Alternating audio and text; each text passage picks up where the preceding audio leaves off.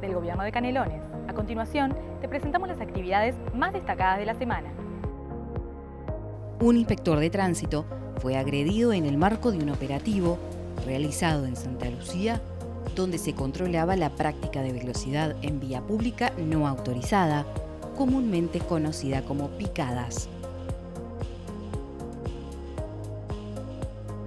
El gobierno de Canelones, a través de la Comisión de Carnaval de la Dirección General de Cultura y el SODRE, comenzaron con el proceso de creación de la primera escuela de candombe en el departamento.